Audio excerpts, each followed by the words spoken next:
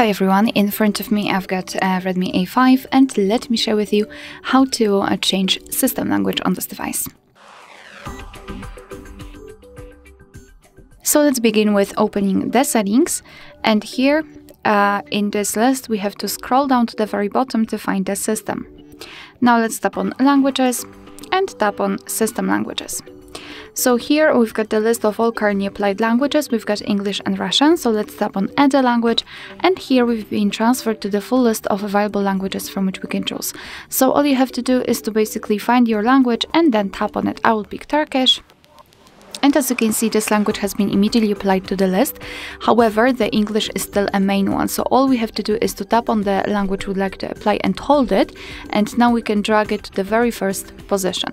Now let's tap on change and as you can see, the Turkish language has been immediately applied uh, as my default language. Let me show it to you again, tap on it and hold it, and then drag it to the first position. If you'd like to, you can also remove the languages from this list, tap on the three dots icon in the right upper corner and tap on remove. Mark the languages and tap on the trash bin icon. Tap on remove, and as you can see, we've got only one language applied. Alright, so that will be all. Thank you so much for watching. Please hit the subscribe button and leave the thumbs up.